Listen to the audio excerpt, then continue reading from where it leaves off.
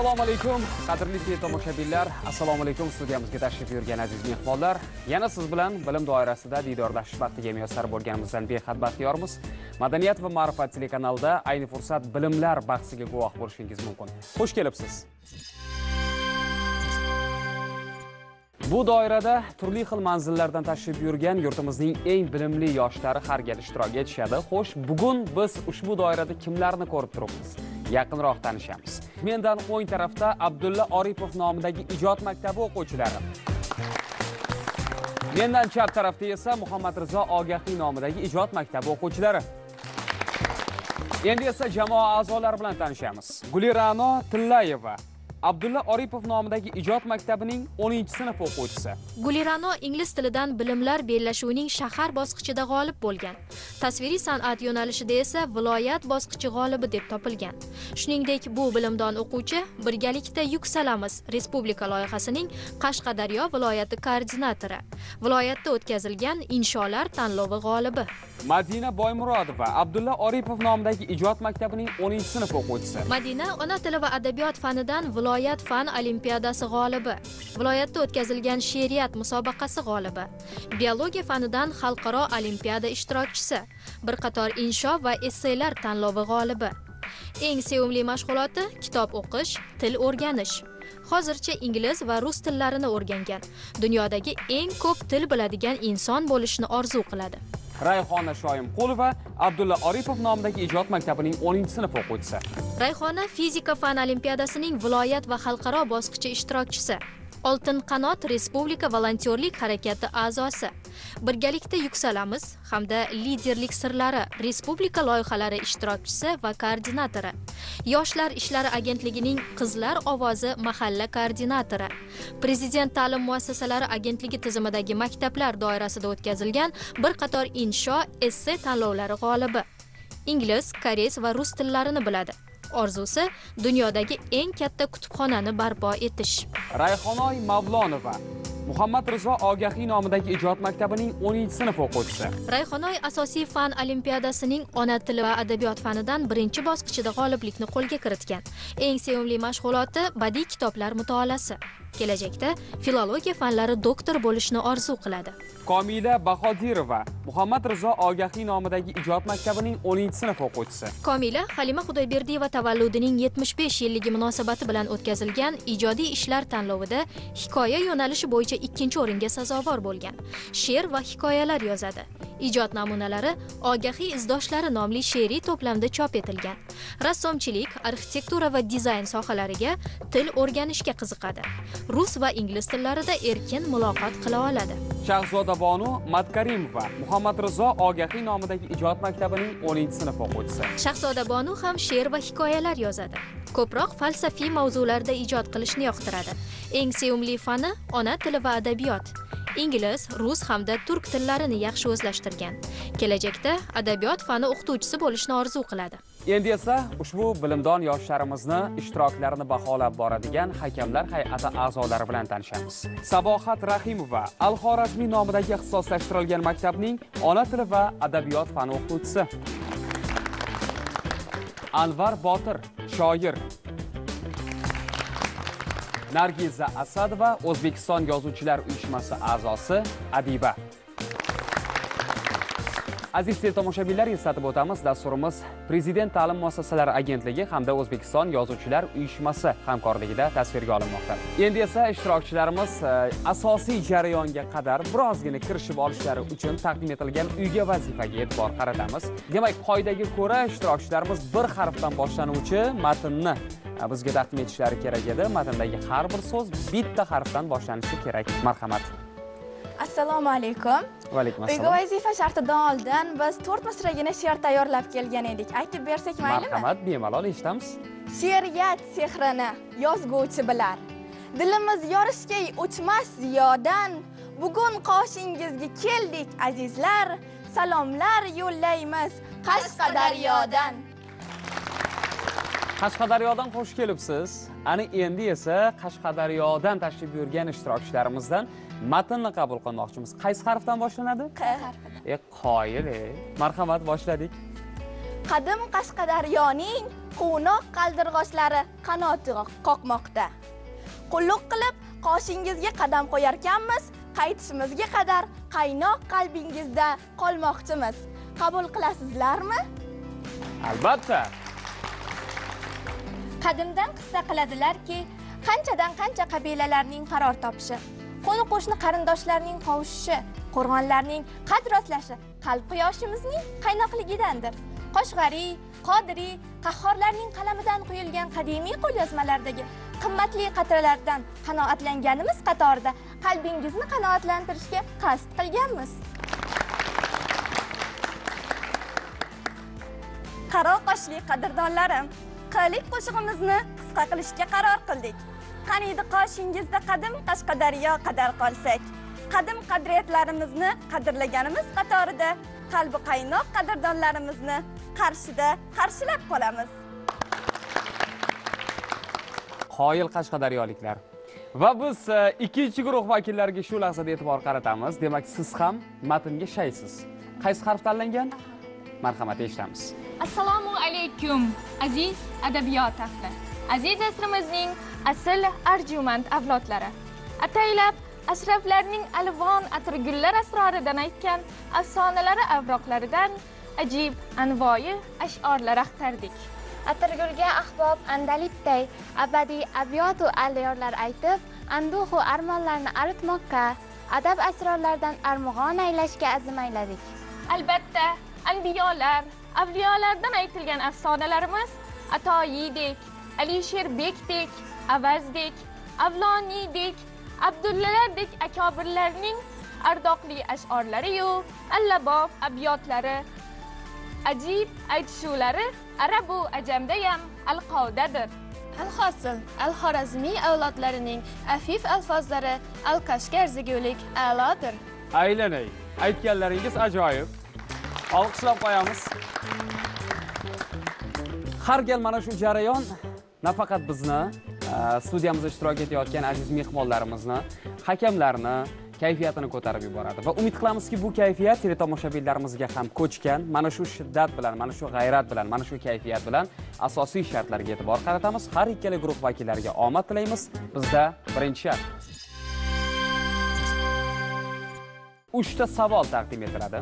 Biri nasrga oid biri nazmga oid biri esa o'sha jonlantirilgan asarlar. U asarlar sahnada bo'lishi mumkin ekranda bo'lishi mumkin. Barchamizga tanish bo'lgan asarlar o'ziga xos tarzda parcha ko'rinishida sizga taqdim etiladi. Siz esa u haqidagi batafsil ma'lumotni bizga aytishingiz kerak. Qaysi guruh vakillari birinchi bo'lib tugmani bossa ular birinchi bo'lib boshlaydi. Va qo'shimcha ma'lumotlar bo'lsa qarshi guruh vakillari davom ettirishlari mumkin. Tayyor bo'lsangiz dastlabki parcha taqdim etiladi. Diqqat qiling. Shu o'rinda ta'kidlab o'taman har biringizning planshetingizda ushbu matnlar o'rin egallagan. Men bilan birgalikda kuzatib borishingiz mumkin. Matn tugagandan keyin tugmani bosishga haqlisiz. Diqqat qiling. Otasi o'g'lining gapini tasdiqlagandek bosh irg'itib uning qo'lidan kitobni asta oldi-yu tokchaga boshqa kitoblar yoniga qo'ydi. Bu kitobning o'rni tokchada dedi u yasama jiddiylik bilan. Ammo siz kitob ko'rmoqqa yoshlik qilursiz. Yirtib qo'ysangiz yaxshi bo'lmas. Ani ikki qo'y bahosiga sotib olg'onmen marhamat. Demak hozir bizda berilgan ushbu parcha mirkarim osimning zulmat ichra nur asaridan olingan parcha bo'lib aynan mana shu parchada berilgan sahna bu aynan alisherbekni yoshlik paytlarida kitoblarni ko'rishi kitoblardagi turli xil satrlardan o'ziga kerakli bo'lgan ma'lumotlarni olish joyi tasvirlangan. Aynan bu yerda esa otasi g'iyosiddin kichkina alisherbekni yosh bo'lishiga qaramasdan bunday qilgan sa'y harakatlarini o'rinli deb baholaydi va aytadiki yoshiga mos bo'lgan holatda o'rtoqlari bilan birgalikda turli xil o'yinchoqlarni o'ynasin deb unga o'sha o'yinchoq olib kelib beradi qo'chqorcha olib kelib beradi va aynan mana shu yerda alisherbekning otasi g'iyosiddin kichkina o'g'liga nisbatan aynan mana shunday so'zlarni aytadiki ya'ni siz bu kitobni tokchaga qo'ying yoshingizga munosib bo'lgan o'yinchoqlarni o'ynang mana men sizga qo'chqorcha olib keldim deydi va mana shunda alisherbek shunday bo'lsa bo'lsa-da u kichik yoshli bo'lishiga qaramasdan Farididdin Attorning asarini yod olgan edi. Keyin shunda alisherbek aytadiki ha to'g'ri ammo men bu asarni yoddan bilaman deydi va aytadiki husayn boyqaro men yoshlikdan do'stim bo'lgan husayn boyqaro bilan birgalikda mana shu o'yinchoqni o'ynayman deydi qahramonlarni sanab bera olasizmi asardagi? Bu asardagi qahramonlar asosan alisher bekning o'zi uning otasi g'iyosiddin kichkina uning amakilar tog'alari kobuliy va g'aribiylar va husayn boyqaro mana shu asarda keng keng yoritib o'tilgan. G'oyasi haqida ma'lumot bering. Sharofiddin ali yazdiy ham aynan mana shu asarda keltiriladi va g'oyasiga keladigan bo'lsak nega aynan mirkarim osim bu asarni zulmat ichra nur deb nomlaydi? Bunga sabab alisher navoiy o'sha toji taxt bilan kurash bo'lib yurgan zamonda bir nur bo'lib mana shu adabiyot olamiga kirib keladi. U zulmatdagi nur bo'lib hamma yerni yoritish kuchiga ega bo'ladi. Mana shunda asosiy obraz bu alisher navoiydir. Nima demoqchi adib alisher navoiyni zulmatni yoritgan nur deya tasvirlamoqchi. Alisher yana qo'shimcha ma'lumot sifatida alisher navoiyning gaz cho'lida sharafiddin aliyaziyev bilan uchratganini ko'rishimiz mumkin. Va o'shanda alisher navoiy yosh bo'lishiga qaramay sharafiddin aliyazdiyni lol qoldirgan ya'ni shuncha bolalar bo'lib sharafiddin aliyazdiy bilan muloqot qilmagan lekin u taborak surasigacha kelganligini aytib o'tadi va sharafiddin aliyazdiyning duosiga sabab bo'ladi. O'shanda ham alisher navoiyning zukkoligini ko'rishimiz mumkin. Shu o'rinda aytib o'tishimiz joizki ali yazdiy zafarnoma asarining muallifidir. Qo'shimcha ma'lumotlar bo'lsa marhamat ikkinchi guruh vakillaridan. Mirkarim osim qalamiga mansub bo'lgan qissalardan biri hisoblanib bu asar alisher navoiy tavalludining 525 yilligi munosabati bilan yozilgan. Biz bu ko'rishimiz mumkin bo'ladiki bu asardan alisher navoiyning bunchalik buyuk bo'lishiga sabab oilasidagi muhit ya'ni otasi shoir tog'alari ham shoir bo'lganligi sababli alisher navoiy bobomiz shunchalik buyuklik darajasigacha erishdi desak mubolag'a bo'lmaydi bunga qo'shimcha ravishda yana bir narsani ta'kidlab o'tish kerakki mirkarim osim aynan nima uchun bu asarni yozdi? Nima uchun aynan alisher navoiy haqida yozadi? Chunki mirkarim osimning davrida biz bilamizki qodiriylar alisher navoiy zahiriddin muhammad bobur amir temur bobomiz kabi insonlarni ajdodlarimizni e, yodlash ular haqida turli xil asarlarni yozish qiyin edi va xalqni u qanday qilib uyg'otishim kerak deb o'ylaydi va aynan mana shuning uchun alisher navoiyni har bir yosh xalqimiz o'zini ko'nglida qalbida jo qilishi uning qaysidir ma'noda aytganda portretini chizish chiza olishi uchun aynan mana shu zulmat ichra nur asarini yaratadi. Mhmm. Yetarlicha ma'lumotlar qabul qildik va biz ikkinchi savolga o'tamiz. Diqqat qilasiz ikkinchi savolimiz nazmga aloqador. Beshovi ham tengsiz olim besh qit'adan bo'lmish jam dunyodagi barcha ilm shul beshovda mujassam. Ilmi nujum tib va tarix jug'rofiya handasa o'likni ham tiriltirar agar ular xohlashsa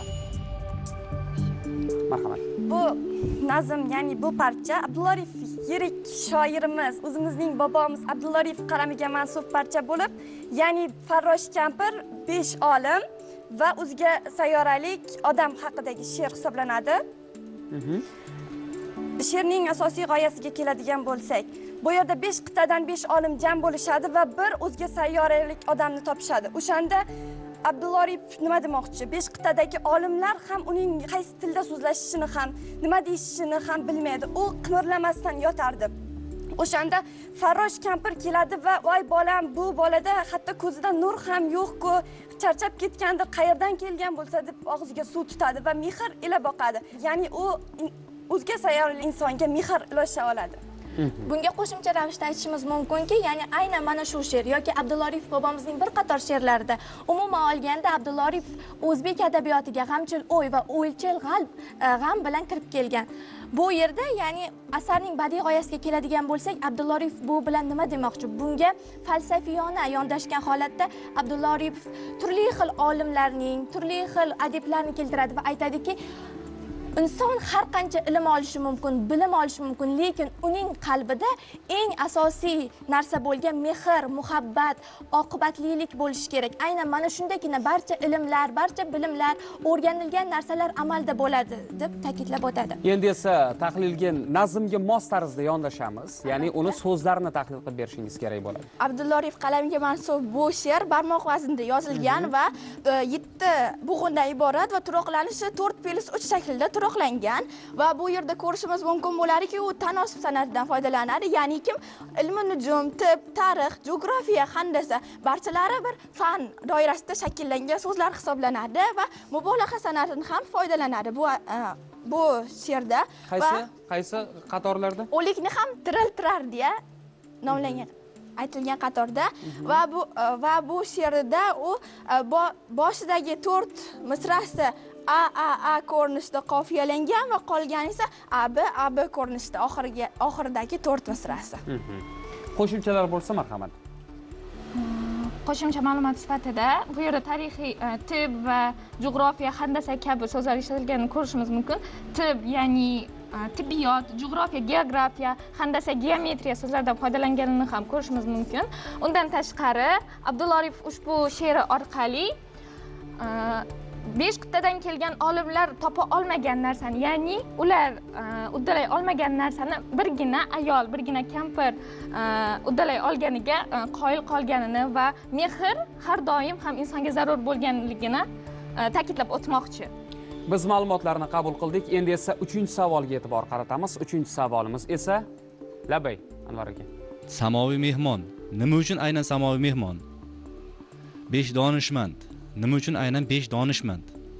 Va farrosh kampir nima uchun olib kirilyapti mana shularga e'tibor bersanglar. Va bularni taqqoslash nuqtai nazaridan e, mana shu paytda poetik unsurlar o'z o'zidan ochilib keladi. Mana shular bo'yicha aniq qo'shimcha ma'lumotingiz bo'lsa qabul qilamiz. Bo'lmasa hozir yetarli bo'lmadi ma'lumotlar. Bizga e, umumiy gaplarni gapirmang.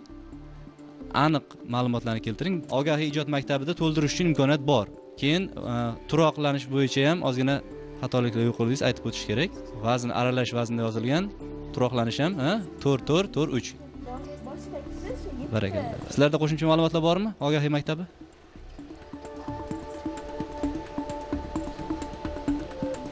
O'zinglardachi bo'ldi rahmat. Va biz uchinchi savolga o'tamiz. Ushbu savol esa ekranda bizga taqdim etiladi. Diqqat qiling va u yerda tushirib qoldirilgan so'z ham bor. Batafsil ma'lumotlar bilan bir qatorda so'zni siz davom ettirishingiz kerak. Marhamat. Birinchidan sanga kerak bo'lmasa mana manga kerak. Ikkinchidan hozir o'zingni zabtga qilib tashlayman savob bo'ladi qatar gapiga qator oqar bu yoqqa yo'q Uyalmaysan kaplatdi odam ye. o'zini uyalmaysanmi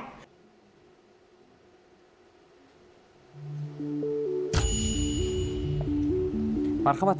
Bu tarixli dramaturg olim sharof boshbekovning qalamiga mansub e, temur xotin dramasida olingan parcha hisoblanadi. Bu parchada aynan qo'chqor va olimjon tasvirlangan. Nega aynan qo'chqor olimjonni bunaqa tarzda e, nima bo'lyapti? Xo'sh bu vaziyatda bu vaziyatda alomat buzilib qolganligi sababli olimtoyni rosa e, koyiydi qo'chqor va nega buzilib qoldi? Aytadiki senga kerak bo'lmasa menga kerak deb shunaqa bo'lganini ko'rishimiz mumkin bo'ladi va asarning badiiy g'oyasini hozir jamoadoshimiz aytib beradi. Asarning badiiy g'oyasi haqida to'xtaladigan bo'lsak sharof boshbekov bu dramasini ya'ni temir xotin deb nomlaydi aynan qaraydigan bo'lsak ya'ni temir xotin to'g'ri bir ma'noda alomat bo'lishi ham mumkin. Lekin buning tag zamirida aslida o'zbekning ayollari zahmatkash ayollar yotadi. Ya'ni bu yerda ya'ni asar so'ngida ko'rishimiz mumkinki aynan alomat buzilib qolgandan so'ng qo'chqor afsuslanib aytadiki aqalli meni xotinim qumri qilganchalik ham dosh bera olmadi ya shuncha sakkizta farzandiga qaraydi. Molni qo'yni boqadi uy ishlarini qiladi paxtaga chiqadi deb aynan ta'kidlab o'tadi. Aslini olganda o'zbekning zahmatkash mehnatkash ayollarni tasvirlaydi. Bu asarning badiiy g'oyasida sharof boshbekov temir xotin bilan ya'ni o'zbek ayollarini tasvirlaydi. Va bu asardagi personajlarga keladigan bo'lsak bu asardagi olimjon qo'chqor qumri alomat obrazlari asosiy obrazlar sanaladi. Olimtoy ya'ni olimtoy deya erkalab qo'chqor shunaqa chaqiradi. U yetti yil ichida alomat ustida ishlaydi va oxirida alomat ham buziladi. Va e, qo'chqor asosiy qahramon e, va qo'chqorning umr yo'ldoshi qumri. Haqiqiy o'zbek ayoli sifatida tasvirlangan qumri hisoblanadi va alomat esa robot ko'rinishida tushirib qoldirilgan so'z topildimi? Oxirida ovoz o'chdi e'tibor bergan bo'lsangiz nima deyiladi davomida?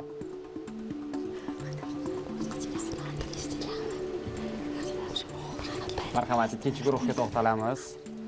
Qo'shimchalar bormi? Albatta. Sharof boshbekov qalamiga birinchi so'zdan boshlaylik. So'z topildimi yo'qmi? So'z yo'q yo'q topilmadi. qo'shimchalar eshitamiz.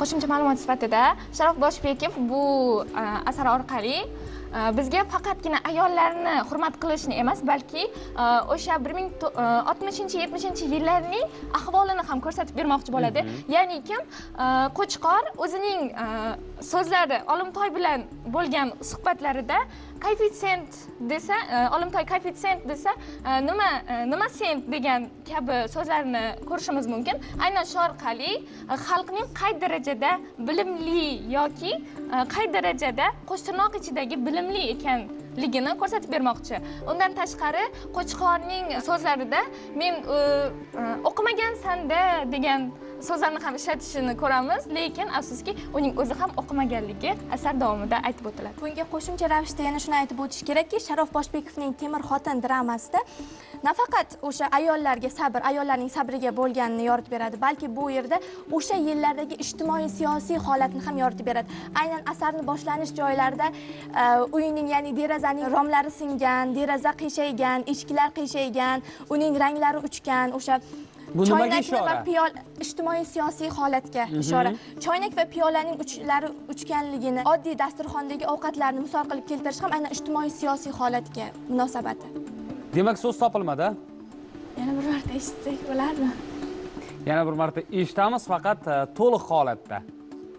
Chunki e, sizdan javob qabul qila olmadik va tushirib qoldirilgan so'z aynan qanday ekanligini videoni to'liq tarzda tomosha qilib bilib olamiz. Marhamat birinchidan senga kerak bo'lmasa mana manga kerak. Ikkinchidan hozir o'zingni zapga silib tashlayman savob bo'ladi. Aytaroning gapiga qatar Niye? Uyalmaysan kaplatta odam ye. o'zing uyalmaysanmi Qo'chqor aka. ayol kishini haqorat qilganim eshitdingizmi va ijrodagi tabiiylik har birimizni e'tiborimizni tortadi va sizga berilgan ma'lumotlar uchun har ikkala guruh vakillariga tashakkurimizni bildiramiz. Ana endi esa hakamlar hay'ati a'zolariga yuzlanmoqchimiz.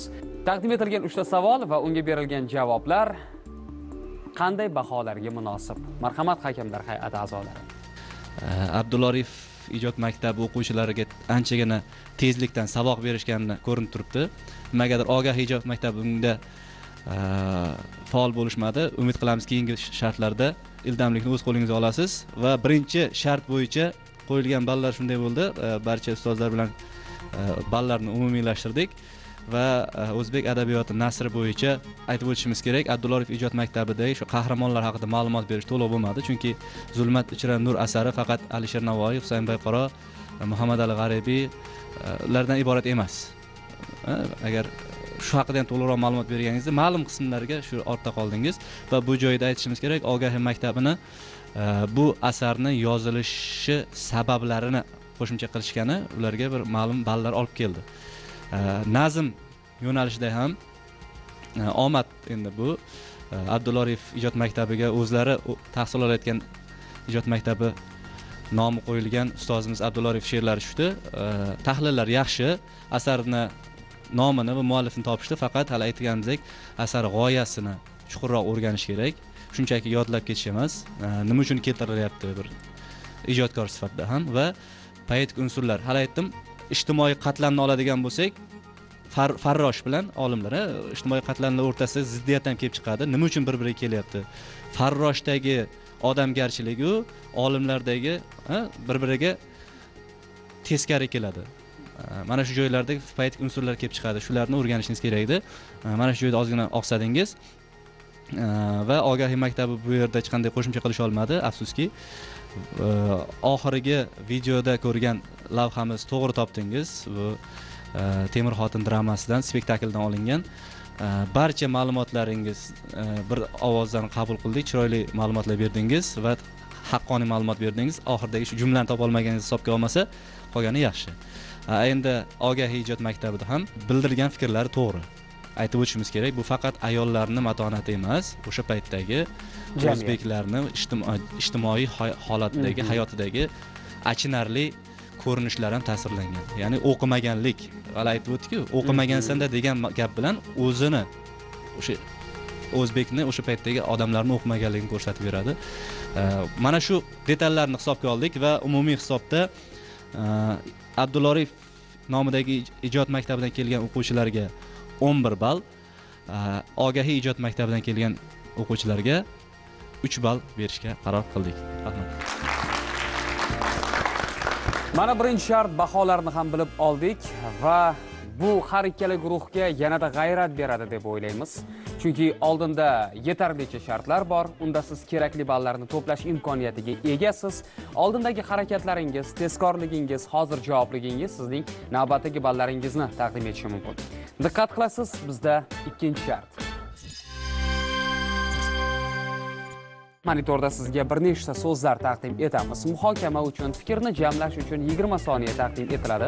Guruhlar navbatdan raqam tanlaysiz. Uning ortida berkingan so'zni esa izohlab berishingiz kerak. Uning mazmuni qanday? Bu so'zni ishlatganimizda biz nima demoqchimiz? To'liq ma'lumotni taqdim etsangiz kerakli ballar sizga taqdim etiladi. Diqqat qilasiz e'tiborimiz monitorda. Birinchi bo'lib abdulla oripov ijod maktabi o'quvchilari raqam tanlashlari mumkin. Marhamat. Bir. Birinchi raqam ochilsin. Sog'ir yigirma soniya vaqtingiz bor.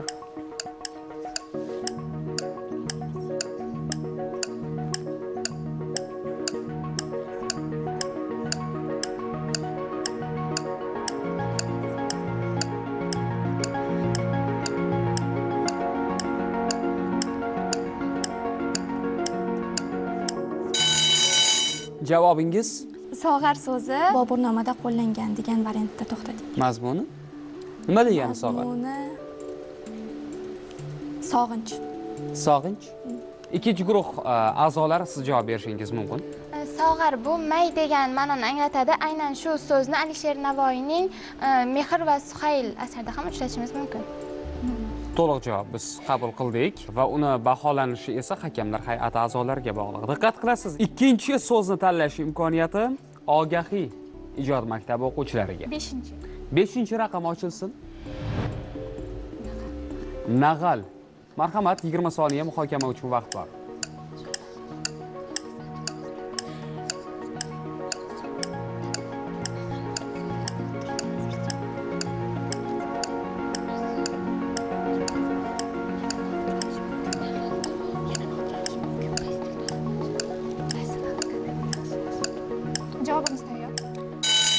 marhamat javobingiz? Ushbu so'z shuhratning mardlik afsonasi asaridan olingan bo'lib taka degan ma'noni anglatadi. Demak biz uchinchi so'zni tanlaymiz. Marhamat abdulla oripov ijod maktabi o'quvchilari. Tanlov navbati sizda.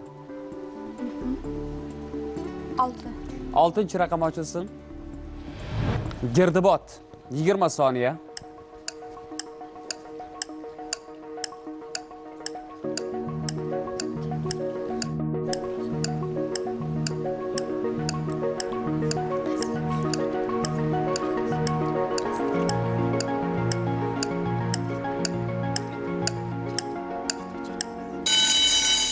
javobingiz? Girdiboz so'zining ma'nosi quyun o'rama bo'lib o'rama bo'lib girdobga o'xshash shaklni hosil qiladigan quyun va bu mir muhsinning qalamiga mansub me'mor asarida uchraydi. Javob qabul qilindi va biz keyingi so'zga e'tibor qaratamiz. Marhamat. Yettinchi raqam. Yettinchi raqam ochilsin. Jozvar yigirma soniya. Marhamat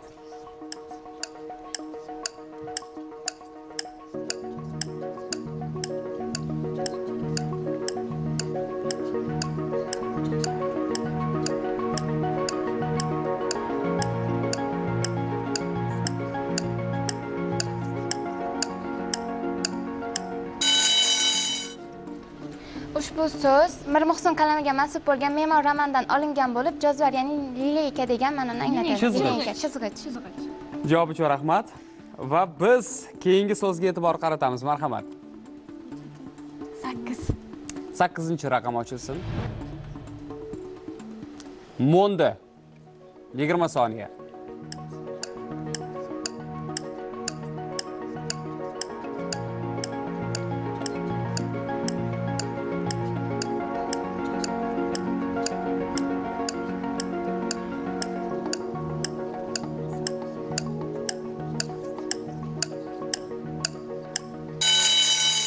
marhamat eshitamiz.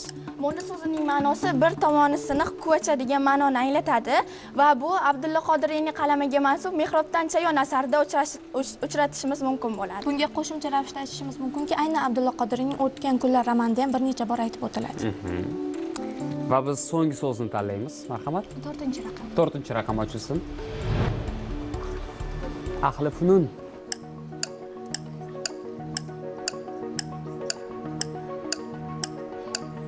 marhamat. Ushbu so'z e, mukumining sayohatnoma asaridan olingan bo'lib ahli funun ya'ni ilm ahli degan ma'noni anglatadi. Ilm ahlimi fan ahli ya'ni fa- fan, e, funun fan degan ma'noni anglatadi. Ahli funun fan ahli. Javoblar qabul qilindi.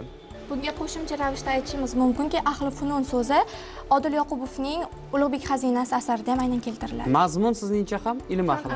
fan ahli hunar ahli qo'shim hunar va fan ahli qabul qildik.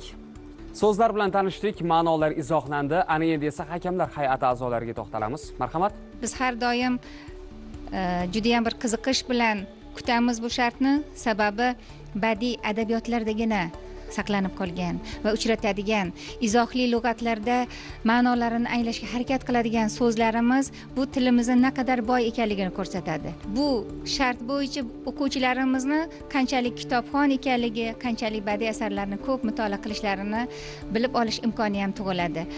Mana shu izohlang shartida abdulla oripov ijod maktabi hamda ogahiy ijod maktabi o'quvchilariga tanlangan oltita so'zlar bo'yicha biz quyidagicha baholarni berdik.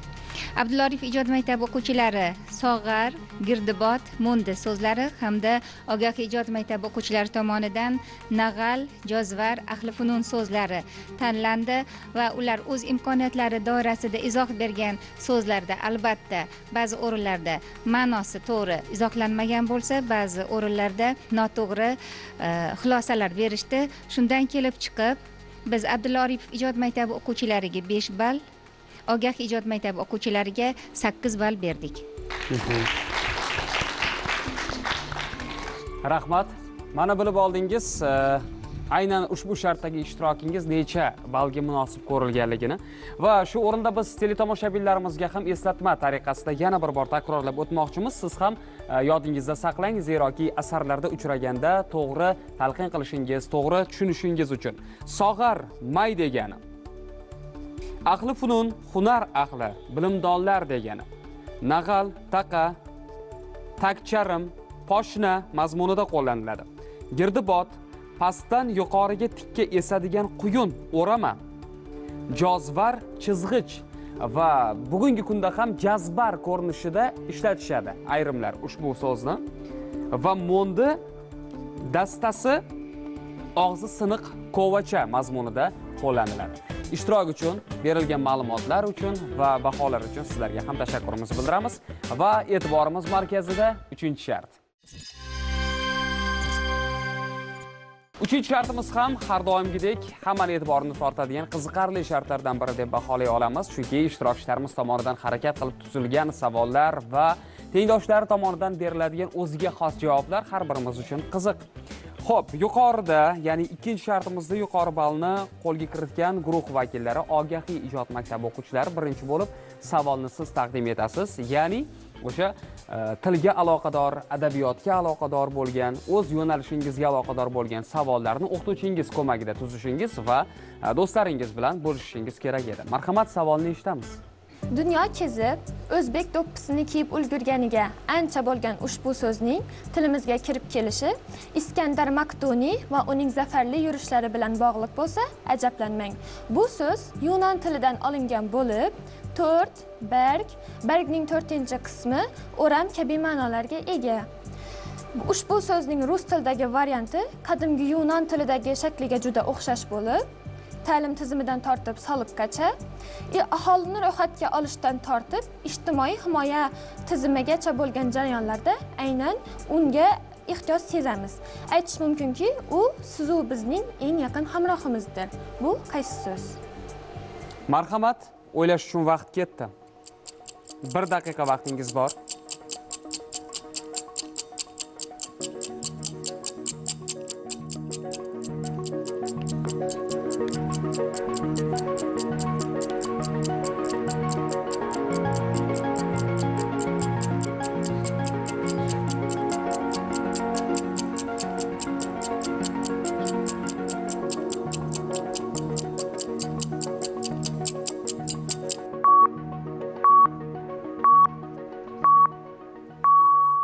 Savolni yana bir bor takrorlaysiz va biz javobni eshitamiz. Marhamat. Dunyo kezib o'zbek do'ppisini kiyib ulgurganiga ancha bo'lgan ushbu so'zning tilimizga kirib kelishi iskandar maktuniy va uning zafarli yurishlari bilan bog'liq bo'lsa ajablanmang. Bu so'z yunon tilidan olingan bo'lib to'rt berg bergning to'rtinchi qismi o'ram kabi ma'nolarga ega. Ushbu so'zning rus tilidagi varianti qadimgi yunon tilidagi shakliga juda o'xshash bo'lib ta'lim tizimidan tortib soliqgacha aholini ro'yxatga olishdan tortib ijtimoiy himoya tizimigacha bo'lgan jarayonlarda aynan unga ehtiyoj sezamiz. Aytish mumkinki u sizu bizning eng yaqin hamrohimizdir. Bu qaysi so'z? Javobingiz? Bu savolga biz taxminiy tarzda kalkulyator ya'ni o'sha hisoblagich degan javobni tanladik nega aynan bu so'z nima sizni tortdi o'ziga soliqdan tortib ta'limgacha hamma yo'nalishda u bor va o'zimizda allaqachon kirishga ulgurgan o'sha so'z ko'p kishi shu narsani ishlatadi javobni qabul qildik endi esa to'g'ri javobni eshitamiz? To'g'ri javob daftar so'zi edi. Chunki bu so'z aynan yunon tilidan kirib kelgan bo'lib diftera o'ram qadimgi yunon tilida esa tetra to'rt berg bergning to'rtinchi qismi degan ma'nolarni anglatgan. Bu so'z ruschada aynan shakliga yaqin tetrat holatida ishlatiladi. E qoyil. Olqishlar chindan ham o'sha so'zlarni vujudga kelishi turfa xil millatlar bilan turli xil e, dunyo tillari bilan aloqador. Ular ba'zan bir birini to'ldiradi ba'zan bir birini takrorlaydi. Ba'zi holatlarda esa butunlay yangicha ko'rinishda e, bizning e'tiborimizda gavdalanadi. Va qiziqarli savol uchun sizga rahmat aytamiz. Ushbu savolni tuzishda sizga kim ko'maklashdi bu savolni tuzishda bizga ogoh ijod maktabini ona tili va adabiyot fani o'qituvchisi shixova muqaddas ustoz ko'maklashdilar. Muqaddas opa shu yerdalar a tanishganimizdan xursandmiz xush kelibsiz. Ikkinchi savolga e'tiborimizni qaratamiz. Abdulla oripov ijod maktabi o'quvchilari qanday savol taqdim etadilar? Diqqat qilamiz. O'zbek tilida shunday bir so'z borki ona tilimizda u til sathi hisoblanadi. Etimologik jihatdan esa forscha so'z bo'lib so'z noz karashma kabi ma'nolarni anglatadi. Muhammad sharif gulxaniy bu so'zni o'z ijodida qo'llagan. Sunnat so'zi bilan sinonimlik qatorini hosil qilganda so'z turkumlaridan birining nomini bildiradi. Savol bu qaysi so'z? Bir daqiqa vaqt ketdi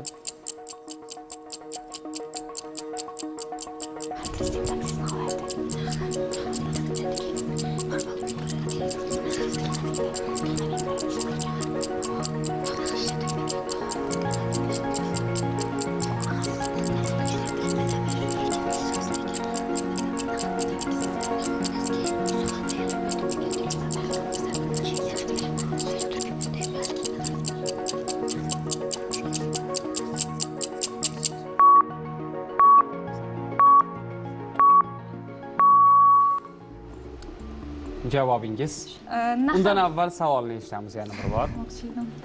O'zbek tilida shunday so'z borki ona tilimizda u til sathi hisoblanadi. Etimologik jihatdan esa forscha so'z bo'lib so'z noz karashma kabi ma'nolarni anglatadi. Muhammad sharif gulxaniy bu so'zni o'z ijodida qo'llaydi.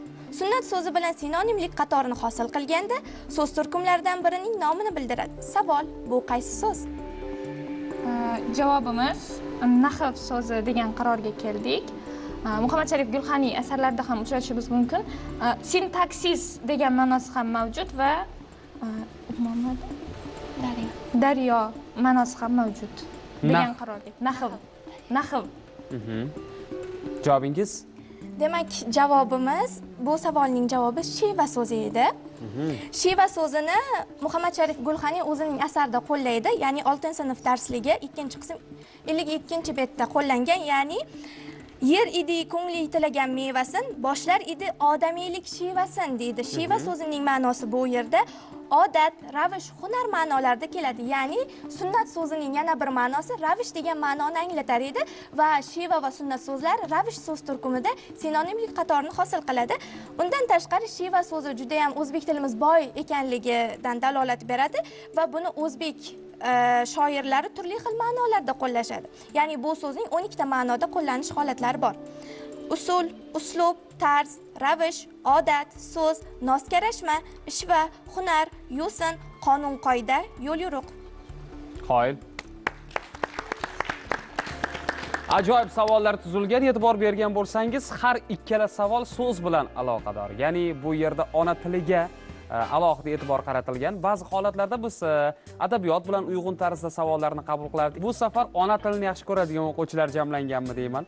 Rayhona ushbu savolni tuzishda kim sizga ko'maklashdi? Bu savolni tuzishda bizga abdulla oripov nomidagi ijod maktabi ona tili va adabiyot o'qituvchisi aziz va nafosat ustoz yordam berdilar. Nafosat opa shu yerdalar a tanishganimizdan xursandmiz yoshlarimizga ta'lim berishdan aslo charchamang biz javoblarni qabul qildik. Ana endi esa hakamlar hay'atidan fikrlarni qabul qilmoqchimiz. To'g'ri chiroyli va o'rinli tuzilgan savol uchun alohida baholash tartibi berilgan javob uchun alohida baholash tartibi. Menimcha e, baholash tartibining ikkinchi qismi bugungi dasturimizda noo'rin chunki to'g'ri javobni qabul qila olmadik baribir. Savollar uchun fikrlar va baholarni eshitamiz. Shu e, bir daqiqalik vaqt hozir yillarga tatidida siz uchun to'g'rimi? E, ya'ni o'zingizni bilimingizni sinash uchun Э, o'sha yoningizda turgan do'stingizni savolini yaxshi tinglash uchun bu fursat. Fursatni g'animatligini bir anglatadi adashmasam.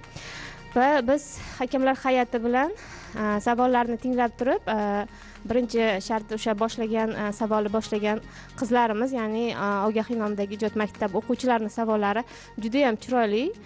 Ya'ni savolni taqdim qilish ham bir san'atda juda chiroyli taqdim etishdi. Ta'riflar o'zgacha ta'riflari bilan albatta. Va shuning uchun ham javobga qiynalishdi e, qizlarimiz. Shuning uchun e, bu qizlarimizga besh ball qo'ydik. E, savollari uchun chiroyli savollar bo'lgani uchun javob berolmaganlari uchun abdulla oripov ijod maktabi qizlariga baho qo'ymadik va abdulla oripov nomidagi ijod maktabidagi qizlarimiz ham savollarni baholi qudrat chiroyli taqdim etishga harakat qilishdi. Biz o'ylanib ularga ham besh ball qo'ydik ammo noto'g'ri javob bo'lgani uchun nol ball qo'ydik. Demak ikkala e, ijod maktabi qizlariga besh besh balldan baho qo'ydi mhmm. rahmat. Demak biz hal qiluvchi so'nggi shartga e'tibor qaratishimiz kerak. E'tiboringiz markazida to'rtinchi shart. To'rtinchi shartimiz yakkama yakka deya nomlanadi va siz taqdim etilgan planshetdagi ma'lum bir matnni to'liq tarzda to'g'rilab chiqishingiz kerak. Ya'ni u yerda imloviy va uslubiy xatoliklarga yo'l qo'yilgan. To'g'rilash vazifasi esa sizda. Shart nomiga ko'ra yakkama yakka tarzda bu amalga oshirilishi kerak. Xo'sh kim ishtirok etadi ushbu shartda? Madinaxon qoladilar rayhona va gulirano vaqtinchalik bizni tark etasiz. Ikkinchi guruh vakillari? Shahzoda. Shahzodaxon qoladilar komila va rayhonoy bizni vaqtinchalik tark etadi. Marhamat demak ushbu shartimizda sizga matnlarni taqdim etamiz. Xatoliklarni esa mana shu qog'ozni o'zida matnni o'zida to'g'rilab berishingiz kerak bo'ladi. Marhamat. Yuqorisiga ismingizni yozib qo'ysangiz bo'ladi. Adashib ketmasligi uchun. Va sizga bir yarim daqiqa vaqt taqdim etamiz. Vaqt ketdi marhamat.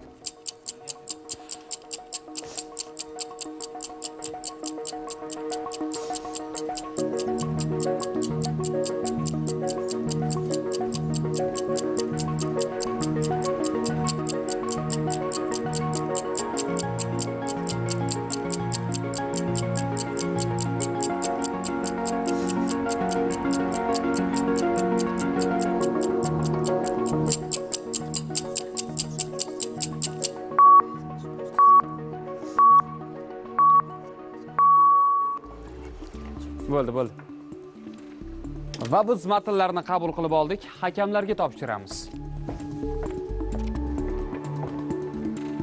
Madinaniki shahzodaniki marhamat qolgan ishtirokchilarimiz ham o'z o'rinlarini egallab olishlari mumkinligini ma'lum qilamiz. Yakkama yakka shartida ishtirokchilarimiz qanday ballarni qo'lga kiritishdi? Ular xatoliklarni qanchalar ilg'ay olishdi? Ma'lumotlarni hakamlardan qabul qilamiz. So'nggi shartni ham juda yam chiroyli. Yakunlashdi. Biz hakamlar hay'ati ko'rib juda yam xursand bo'ldik. Chunki har doim ta'kidlayman bu eng muhim ijod maktabi ayniqsa o'quvchilar uchun eng muhim bo'lgan e, bir bilimni ko'nikmani sinaydigan shart sifatida e, qaraladi. Yakkama yakka shartida ikkala maktab o'quvchilariga berilgan matnimizda o'n beshta xatolik ko'rsatilishi kerak edi. Hozir abdulorif ijod maktabi hamda ogahiy ijod maktabi o'quvchilari yakkama yakka maydonda turib butun zehnini butun e'tiborini ishga solib bizga mana shu xatoliklardan topib berishlari kerak edi va abdulorif ijod maktabi o'quvchisi buni uddaladi. Va o'n beshta xatolikni barchasini abdulorif ijod maktabi o'quvchisi ikkalab ko'rsatib berdi shu o'rinda ogahiy ijod maktabi o'quvchisiga ham minnatdorlik bildiraman. Sababi judayam hayajonda judayam hali daqiqalar soniyalar muhim bo'lgan bu paytda juda ko'p narsani nazardan chetda qoldirish oson. Lekin o'n to'rtta xatolikni ilg'ab bitta o'rinda xato bo'lmagan joyda noo'rin ini qo'llab qo'ygan o'quvchimizga biz bugun nizomga ozgina qarshi borsak ham shu o'quvchimizni shunchalik harakatlarini qo'llab quvvatlash uchun o'n balldan to'qqiz ball berishga qaror qildik. Abdulorif ijod maktabi o'quvchisiga esa o'n ball berdik. Olqishlar bugun bilim doirasida rekord. Chunki aynan mana shu shartimizda to'laqonli xatoliklar to'g'rilangan holat hozirga qadar bo'lmagan. Bugun esa ilk bor sodir bo'ldi. Buning uchun esa madinaxon sizga rahmat aytamiz. Sizni ustozingizga rahmat aytamiz. Baraka toping bardavom bo'lsin. Biz juda ham xursandmiz. Aynan e, yoshlarimiz bilimdon o'quvchilarimiz kun sayin oldinga intilayotganligidan natijalar avvalgidanda yaxshiroq bo'lishiga harakat qilinayotganidan baxtiyormiz. Ana endi esa eng hayajonli lahzalar ya'ni umumiy ballarni e'lon qilish fursati yetib keldi. Bilim doirasi ko'rsatuvini navbatdagi mavsumidagi yaxshi natijalardan bittasi bo'ldi. Buni o'quvchilarimizni o'zini holatidan ham bilishimiz mumkin. Kayfiyat tushirmaslik kerak. Bir narsaga e'tibor berdim. Abdulla orif ijod maktabi o'quvchilari shartni boshlashdan oldin o'zlarini o'zlari kayfiyat ko'tarib olishdi. Har bitta shartga e, yaxshi kayfiyat bilan kirishdi. Sizga ham taklif qilardim shuni. E, to'g'ri ilm olish kerak. Ilm olgan odam sekin sekin o'zini bosib bosib olishni o'rganaveradi. Hamma narsaga yaxshi kayfiyat bilan kirishing. E, bu yerdagi oraliqdagi masofa unchalik farq qilmaydi. Umumiy hisobda e, o'ttiz birga yigirma besh hisobi bilan abdulla orif ijod maktabi bugun shartimizda g'alaba qozondi. Tabriklaymiz. Muborak bo'lsin ilmingiz ziyoda bo'lsin o'rganishdan harakat qilishdan to'xtamang. Sizga ham omadlar tilaymiz. Navbatdagi ishtiroklar bundanda yaxshi bo'lsin. Bugun ham yomon emas demak harakatlar e, yanada ko'proq bo'lishi kerak. E, birozgina chaqqonroq bo'lishi kerak. Bilganlarimizni o'z vaqtida boshqalar bilan bo'lisha olishimiz va taqdim eta olish namoyish eta olishimiz ham kerak ekan. Har bir narsada hikmat bor deyishadi. Umid qilamizki bu ishtirokdan ishtirokchilarimiz o'ziga xos xulosalarni chiqarishdi. Lekin bu hammasi emas. Hayot oldinda ta'lim oldinda biz o'rganishda davom etishimiz kerak. Har ikkala guruh vakillariga tashrif uchun faol ishtirok uchun rahmat aytamiz. Omadlar yor bo'lsin. Ishtirokchilarimizga esa o'zbekiston yozuvchilar uyushmasi tomonidan taqdim etiladigan o'ziga xos kitoblar va esdalik sovg'alari bor. Qabul qilib olishingiz mumkin. Aziz teletomoshabinlar siz bilan esa yana madaniyat va ma'rifat telekanalida bilim doirasida ko'rishamiz. Omon bo'ling.